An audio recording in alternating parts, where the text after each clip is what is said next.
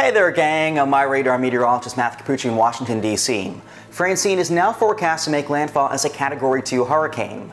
Storm surge and hurricane warnings are in effect for coastal Louisiana, where gusts over 80 miles per hour and a 5 to 7 foot storm surge are possible. Heavy rains then spread inland up the Mississippi and Tennessee valleys and across the deep south. We could also have a tornado risk across Louisiana and Mississippi on Wednesday, then Alabama on Thursday.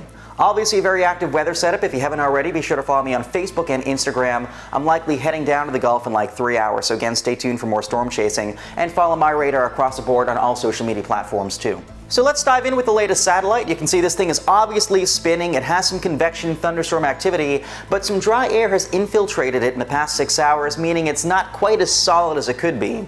Here's what it looked like this morning on visible satellite once the sun came up and illuminated the cloud tops. But as Francine works north and eventually northeast today, it should have an easier time intensifying over water temperatures between 85 and 88 degrees. That's why we think it will plateau around a high-end Category 2, possibly, over the open waters on Wednesday. It will start to weaken as it approaches the coast thanks to dry air kind of invading the circulation. And number two, we got harsh upper level winds trying to knock the storm off kilter. Still, gusts of 80 to 90 miles per hour are possible at the immediate coastline in the eye wall, the innards of the storm, in addition to 3 to 5 feet of surge to the east, the right of the center, where onshore winds pile water against the coastline. A few folks could see 5 to 8 feet of surge. Truth be told, I think we'll even see 60 plus mile per hour wind gusts in like New Orleans, Lafayette, pretty much up to the Interstate 10 corridor in Louisiana before the winds finally start to weaken farther inland.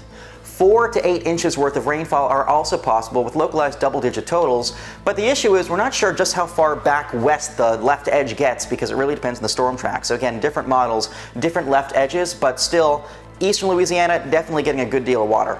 Then the low pressure moves inland and starts to fill in, meaning lesser of a vacuum effect and resultantly lesser winds. Still, gusts of 40 to 55 miles per hour are possible in the Mississippi Valley, as well as 2 to 4 inches worth of rain. Then on Francine's right side, we'll probably see kind of an arcing band of thunderstorms, dry air punching into moisture, forming that arcing band, and there's enough spin that we could see some tornadoes Wednesday across like I'd say so, uh, southeast Louisiana, maybe southern Mississippi, into perhaps western Alabama. And then Thursday, Alabama, it's mainly you guys, a marginal level 1 out of 5 risk of tornadoes in your area. In the meantime, like I said, I'm probably heading down. Jordan Hall will be down there as well. We've got you covered every step of the way. Erica Lopez will be in studio too. Our editors will be here around the clock, keeping tabs on this. And like we said, we are with you every step of the way.